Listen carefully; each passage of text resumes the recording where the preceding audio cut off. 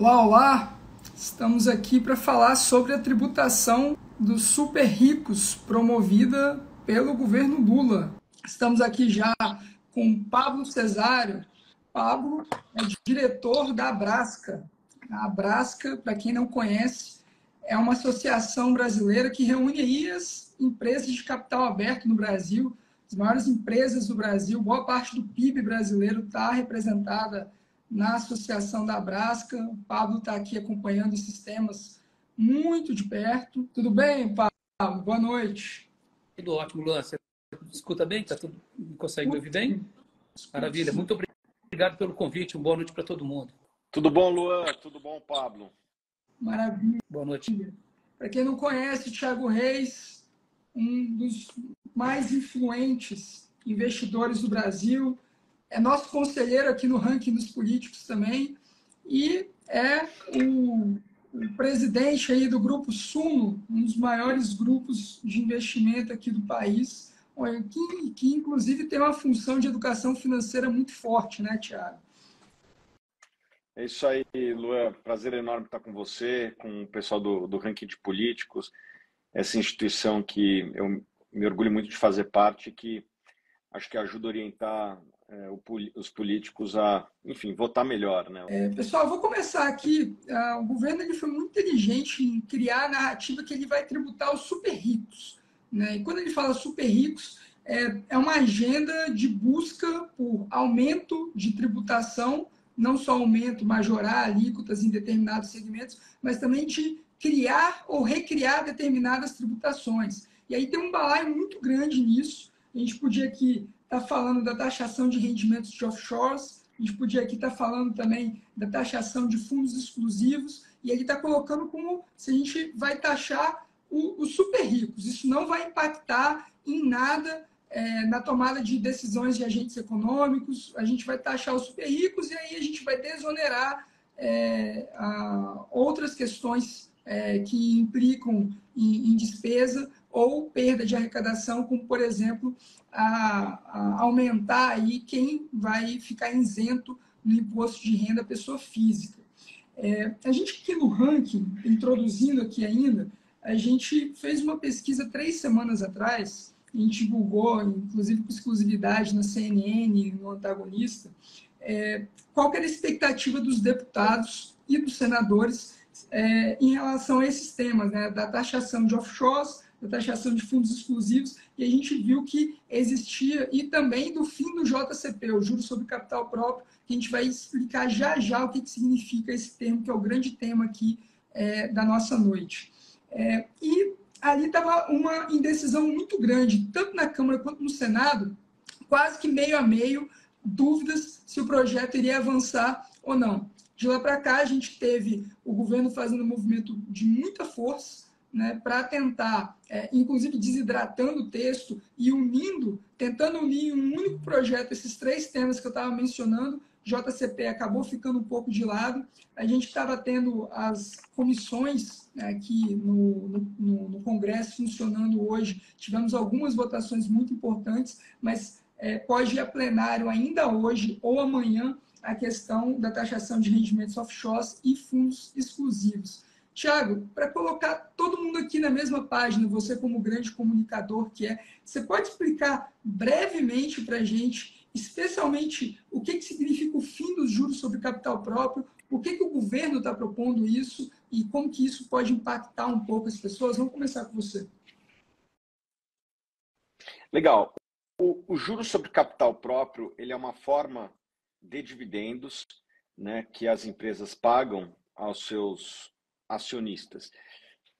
Essa saída de caixa da empresa, ela é lançada no balanço das empresas como uma despesa financeira.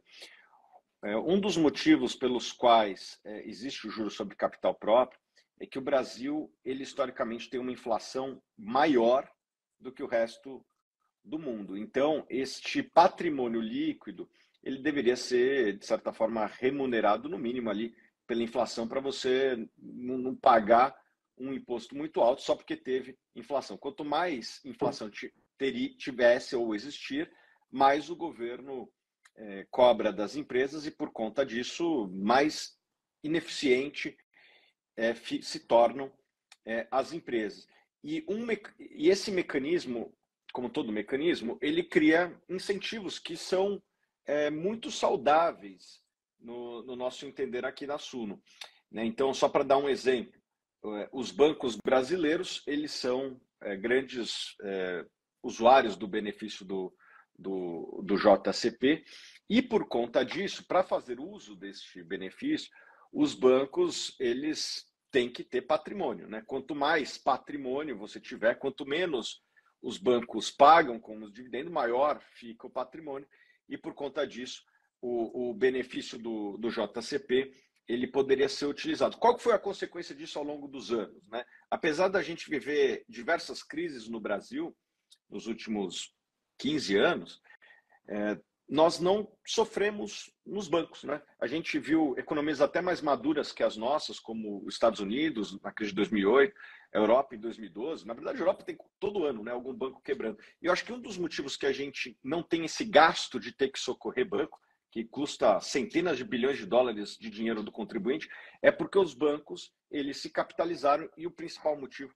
que eles se capitalizaram é para poder é, usar o JCP.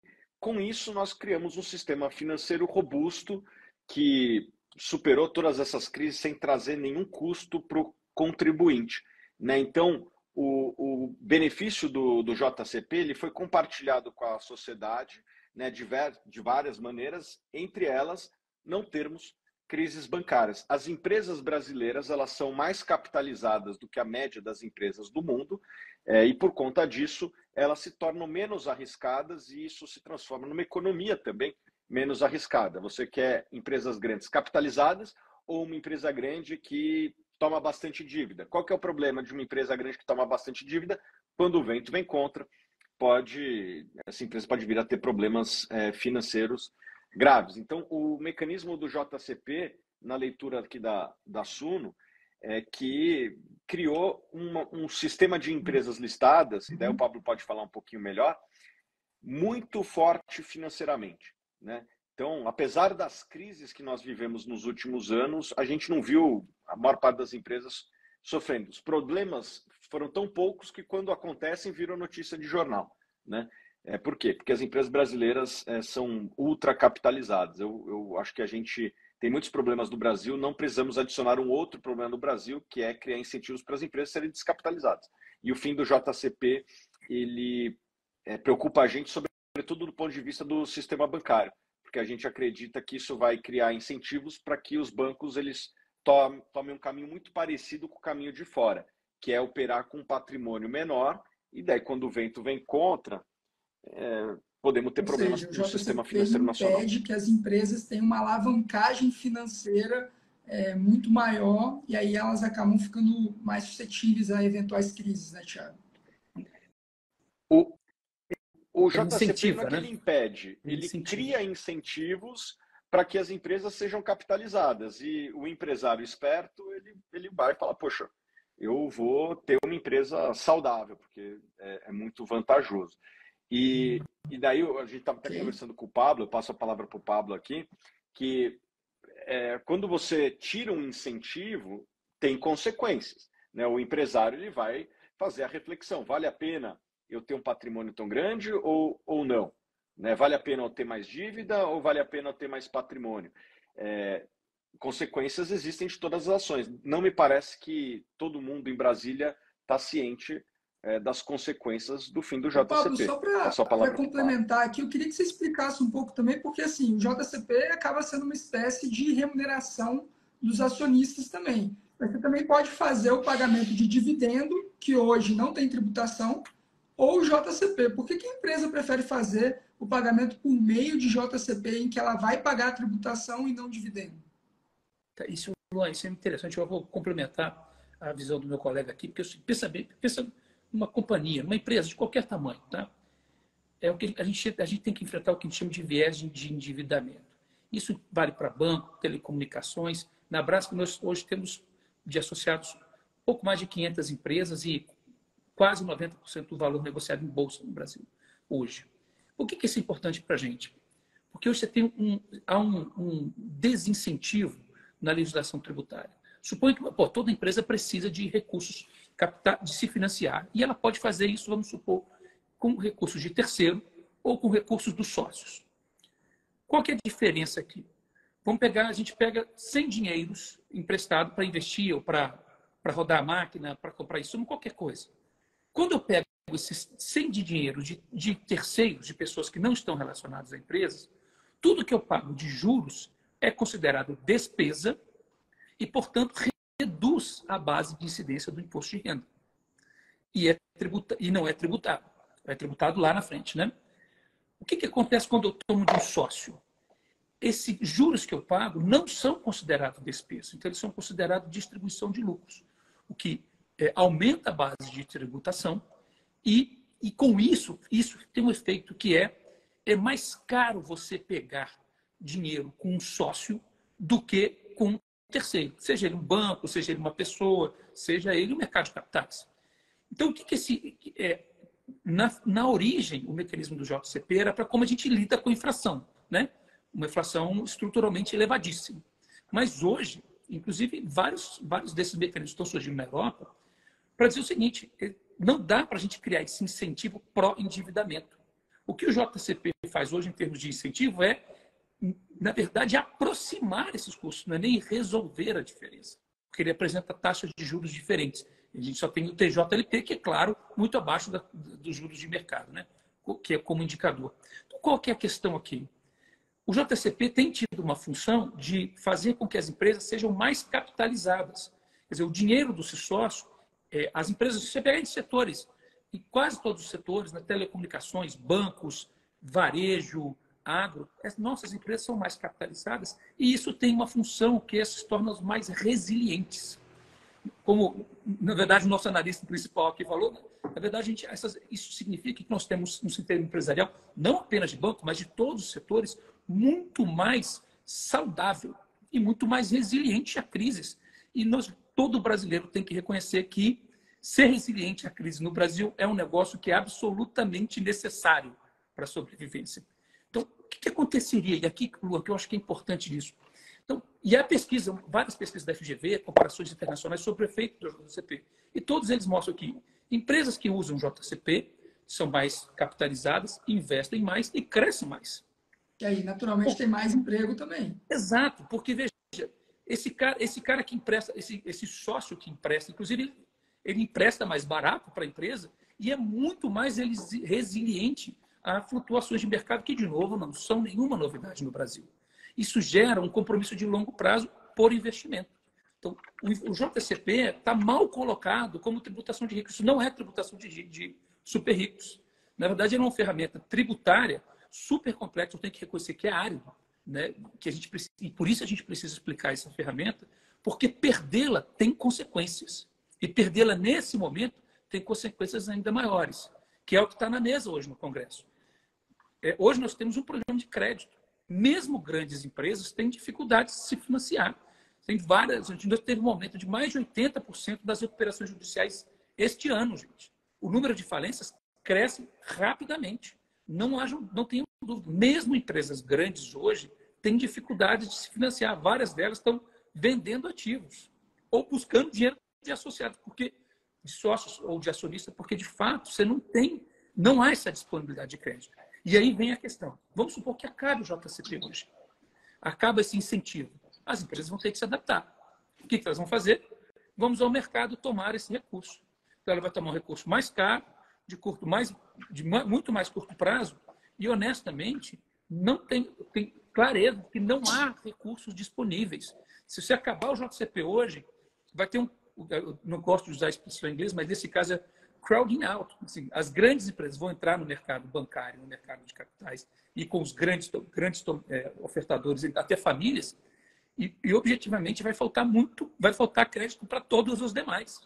Essa é uma mudança muito rápida que tem impactos estruturais, não apenas conjunturais, porque, claro, elas vão se adaptar.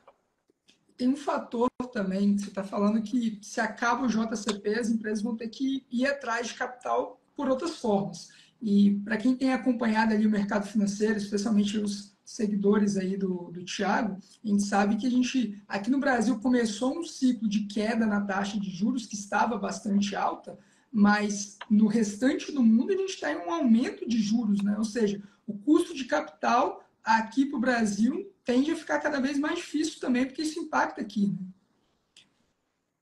Eu queria trazer um pouco, Tiago, se explicasse um pouco para a gente, é, a, porque assim, muito se fala, é, é, fazemos, façamos justiça aqui, a ideia de acabar com o JCP não é algo exclusivo do atual governo. Dois anos atrás nós tivemos uma tentativa também é, em, é, no Ministério da Economia de Paulo Guedes e do governo Bolsonaro, também estava no radar acabar com o JCP. É, muito se fala que é algo que só existe aqui no Brasil, muito se fala que é, é muito caro manter o JCP para os cofres públicos. Como que você tem olhado essa questão? Assim? É, é, é, por aí mesmo? O governo também tem bons pontos quando ele defende acabar com o JCP? Ou o governo está com uma visão um pouco embaçada sobre o impacto que isso pode causar? É, a minha visão é a seguinte, e a gente estava num evento organizado pela Brasca em Brasília recentemente, em que tinham membros do governo, é, sobretudo ali o, o API, né? E uma expressão que eu usei na época é o, o JCP ele é um copo de água para quem está no inferno. Né? Eu estou aqui com uma imagem na minha frente, não sei se eu consigo uhum. compartilhar com vocês, mas é o. É, não sei tá se vocês conseguem ver aí, mas esse aqui é a estrutura de. Co... É, uhum. e o uhum. Brasil vermelho ali, né? Vocês estão vendo o Brasil aqui, e o, e o Brasil é o país mais vermelho deles aqui, né? junto com alguns países lá da África, como Chad, Sudão, etc. Esses são os países de maior é, tributação corporativa é, do mundo. Né? O Brasil ali no, em corporate taxes, né? em, em, impostos cobrados das empresas, nós não estamos ali é, na parte boa, nós estamos ali brigando pela liderança ali, talvez na zona de Libertadores, para quem acompanha aí futebol, de quem cobra mais impostos das empresas do mundo. Isso foi aumentando-se gradualmente ao longo do tempo, né? não foi algo que aconteceu da, da dia para a noite. E o JCP, é, ele é só um copo d'água para quem está no inferno, como eu disse. Assim, as empresas já pagam muitos impostos, né? seja na receita, seja no lucro, seja para fornecedor, para trabalhista, etc. Né? A gente já paga muitas, muito imposto. E o que está acontecendo com a nossa economia? Né? Muito se fala, né? Ah, precisamos reindustrializar o Brasil. É, eu concordo, acho bonito, só que a gente precisa criar condições para que as nossas indústrias compitam com as demais do mundo. Né? A gente vê outros países de mesmo nível de desenvolvimento que nós, como China, até a Rússia, é, Turquia, com níveis de, de cobrança de impostos das empresas muito menor.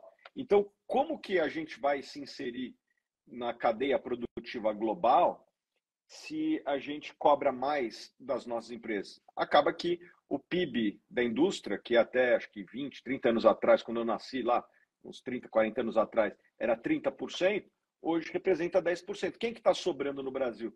Só quem é ultra competitivo, quem que aquelas indústrias que apesar dos impostos consegue competir. Então, é minério de ferro, é o agronegócio e a VEG e a Embraer que tem muito talento. Fora isso, são pouquíssimas empresas que conseguem competir em escala global. Então, acho que a gente tem que fazer a seguinte reflexão: a gente tem poucas empresas, a gente quer tributar mais as que sobram, né?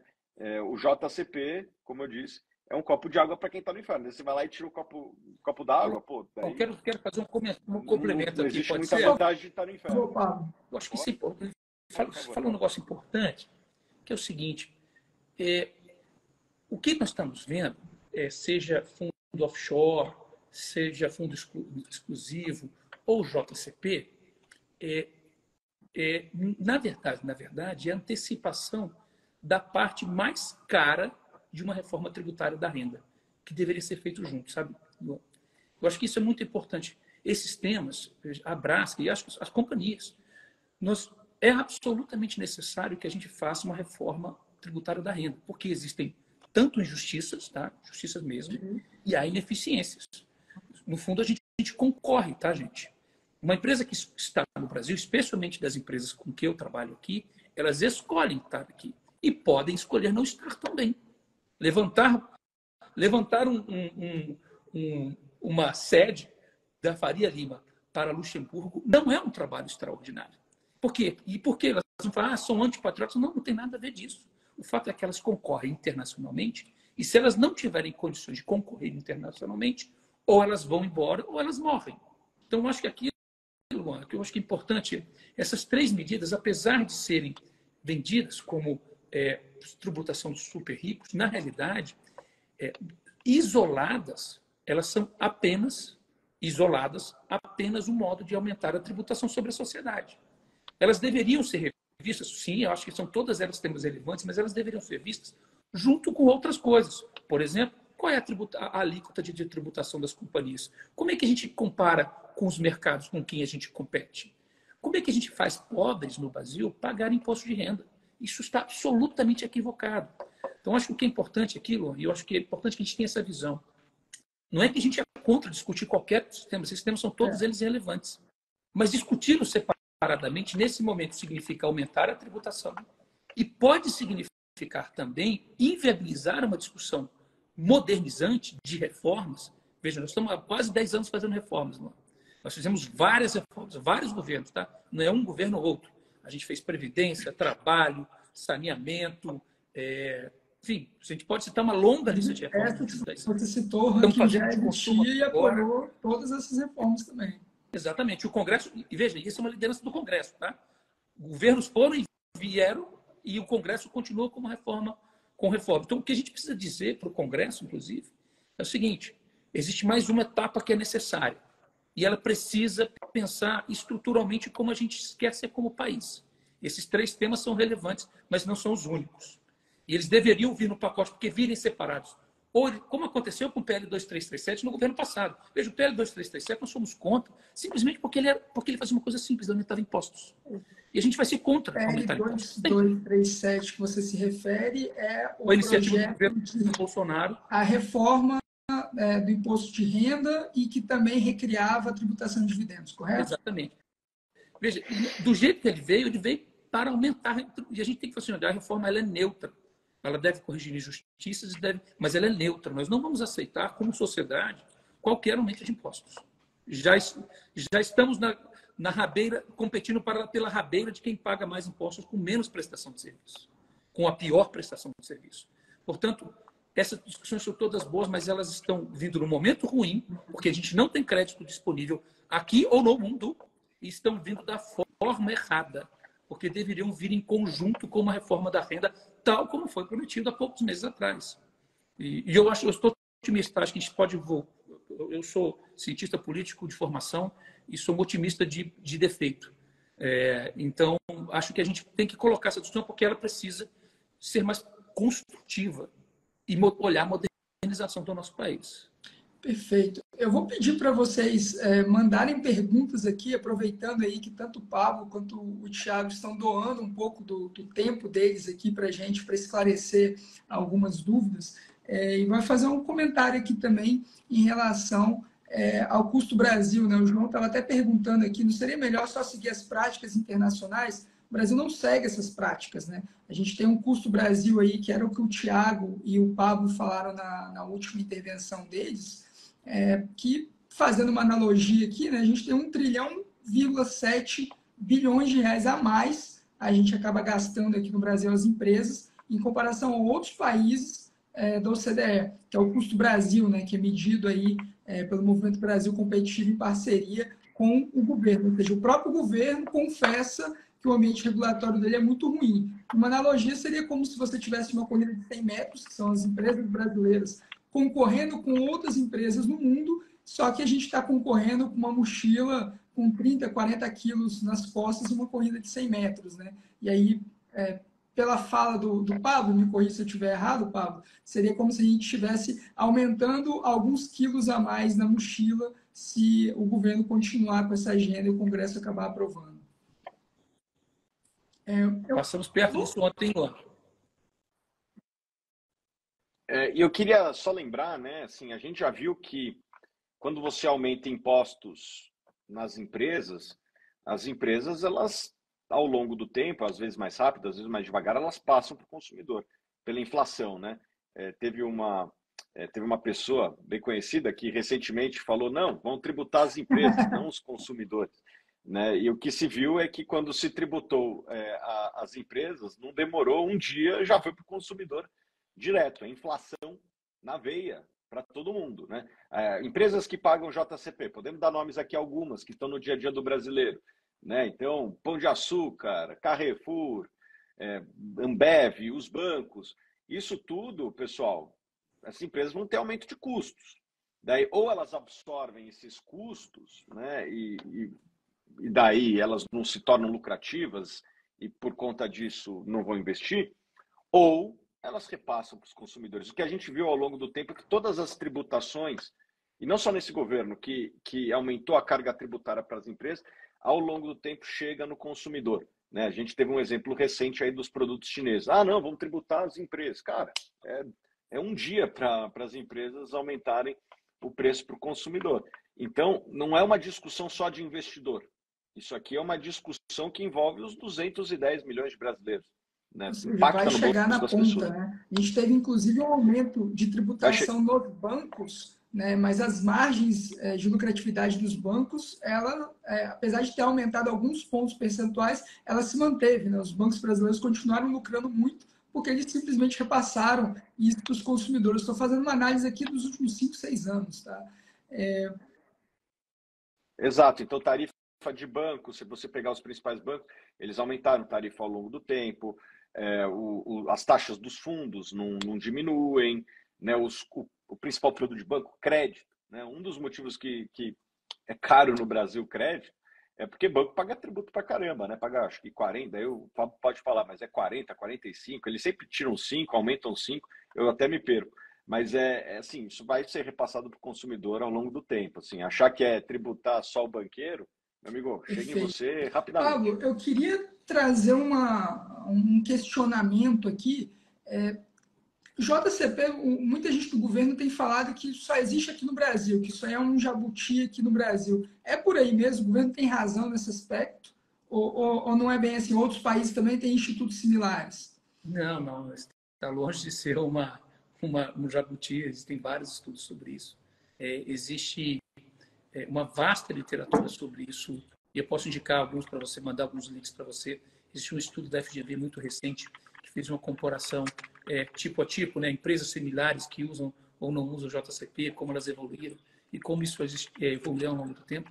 Acho que a discussão disso é, na Europa é uma discussão muito intensa. Na verdade, o modelo brasileiro tem sido defendido na Europa. É, e acho que aqui, acho que a questão central é que o JCP é, é tão obviamente importante que a pergunta deveria ser é como a gente faz para mais empresas poderem usar o JCP para terem o acesso a solução de um problema que é esse do viés do endividamento.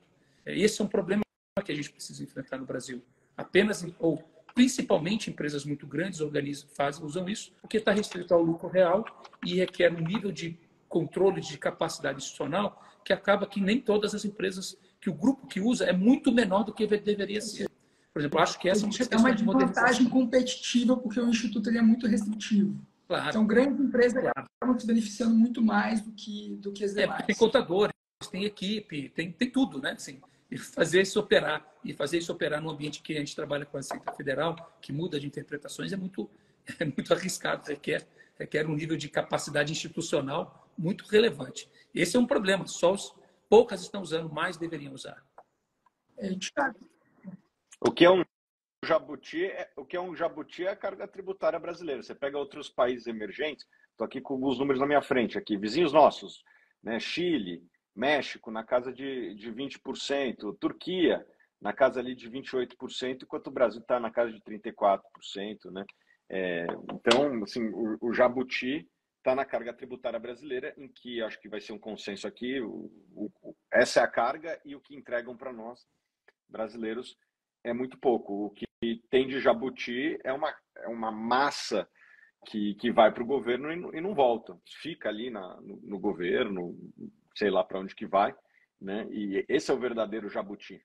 Queria trazer a discussão para o Pablo de novo aqui. A gente, é, o governo, é, basicamente esse, esse conjunto de projetos, né, que ele está chamando de tributação dos super ricos, como se fosse ficar restrito somente a quem tem grandes patrimônios, é, esse conjunto de medidas é, do ministro Haddad ele está tentando buscar aumento de receitas para pagar também a conta do que foi a PEC de transição, que foi feito no final é, do ano passado, para aumentar o, os gastos do governo para conseguir cumprir é, diversas das promessas eleitorais que foram feitas nas eleições, e também porque acabou a regra do teto de gasto, então agora a gente está com arcabouço fiscal, que já foi aprovado, está em vigor, e isso permite o, o governo gastar muito mais também do que antes seria permitido. Então, obviamente, o governo está em busca de receita para conseguir pagar essa conta, e aí isso está dentro desses projetos. Pablo, o JCP ele foi criado nos anos 90, mas ele demorou quase 10 anos aí para as empresas começarem a utilizá-lo. O governo fala que, passando é, esse projeto na, no, no, Congresso Nacional, a gente vai ter aí no ano que vem arrecadar aí algo em torno de 10 bilhões de reais. Você acredita que é por aí mesmo? o governo está correto de que se ele conseguir passar a legislação da forma como está, ele vai conseguir arrecadar 10 bilhões de reais no ano que vem? Ou você acha que isso está um pouco é, superestimado? Eu tenho, eu tenho um pouco de dificuldade com essas estimativas. Que, bom, primeiro são estimativas, né? Claro, tem sempre modelo, tem sempre pressuposto. Mas eu acho que a questão central aqui é que, é, caso o JCP venha acabar, ninguém vai ficar parado todo mundo vai reestruturar, alterar a sua estrutura de capital. Então, acabou o JCP, no dia seguinte, sócios, tomem aqui os dinheiros que vocês nos emprestaram e, a partir, e amanhã de manhã, bancos, quanto custa, quanto custa o empréstimo. Né? Então, as empresas vão se adaptar. E é muito difícil antecipar como isso vai acontecer, porque vai ser uma decisão individual de cada uma delas. Então, é muito, é, acho muito. É, é, é, um modelo que requer um nível de hipóteses e de pressupostos muito forte. Então, é, eu, eu, eu, a gente tem a impressão aqui que, que as empresas vão, vão lutar para sobreviver, gente. Elas vão lutar para continuar eficientes. E vão lutar para pagar o menos de imposto, para fazer a maneira dentro da lei, obviamente, respeitando a lei, pagar o menos imposto para conseguir entregar os produtos mais baratos serem competitivos. Ninguém vai ficar parado. Portanto, imaginar que haverá um aumento de arrecadação me parece difícil de, de antecipar. Pelo menos no curto prazo, né? É, não. É, veja, vou, o que, que vai acontecer? Olha, se, se, meu sócio, se ficou mais caro o dinheiro do meu sócio, o que, que eu vou fazer? Eu vou devolver. E vou pegar empréstimos que estão caros, né? Então, é, assim, no fundo, a gente está tá minando a competitividade das empresas. Né? A gente teve uma, um, um, comentário aqui que eu gostaria de, de, pegar e endossar, falando que se o JCP vai, vai arrecadar 10 bilhões de reais, isso dá para financiar ajuda em duas eleições da Argentina, aqui em menção a, a, ao furo do Estadão ontem, de que o governo brasileiro está subsidiando aí, é, o governo argentino pensando em evitar a derrota é, do governo de lá. Gente tem um outro comentário aqui é, perguntando também é, se, é, se vocês acreditam é, que tem mais projetos vindo aí que eventualmente pode prejudicar a atuação das empresas. O que mais as empresas devem se preocupar nesse cenário agora, Thiago? Bom, é, as empresas têm que se preocupar sempre primeiro em sobreviver e depois crescer, lucrar, etc. É, dito isso, esse tipo de, de constante tributação é, do, do consumidor, do investidor, gera ruídos na economia, gera incertezas, não só nos empresários, mas nos consumidores, e isso atrapalha a confiança deles, que atrapalha o, o dinamismo da economia. Então, é, as empresas, assim, todas que eu converso, é raro ver um otimismo muito grande no, com o curto e médio prazo, enquanto a poeira não baixar. Né? Essa, essa conta pública que todo mundo está vendo, né? o déficit que está sendo enorme, né? o governo é, virou o ano com superávit razoável e está indo para um déficit enorme. Isso gera incertezas em todo mundo. Né? As empresas estão vendo que vão ser tributadas. Pô, eu vou investir tal e aumentar a tributação meia. Opa, vou segurar, esperar baixar essa poeira. Né? Então, esse tipo de, de ruído tem impactos profundos. Né? Então, na minha visão, temos que voltar para estacar zero e ter uma discussão grande de gastos também. Né? A gente já está vendo que em alguns setores se aumenta é, a tributação e a arrecadação cai. Né? Isso aconteceu recentemente com automóveis né, importados, se aumenta a tributação de carro importado, o volume cai tanto que a arrecadação cai mais do que o volume cai muito mais do que o que aumentou a tarifa e com isso a arrecadação cai. Cigarro, né? Tinha uma empresa aberta que não é mais a, a, a Souza Cruz, né? Que era uma empresa listada. O, o grande é, competidor dessa empresa não era o, a empresa do lado, era o mercado cinza, né? Que assim a tributação de cigarro. E daí acho que nesse caso é um produto que realmente tem é, assim danos à saúde que são conhecidos e que talvez você deva desincentivar. Só que desincentivou é, tanto o, o, mecanismo legal que começou a ter o mercado paralelo, ali o chamado mercado cinza, né?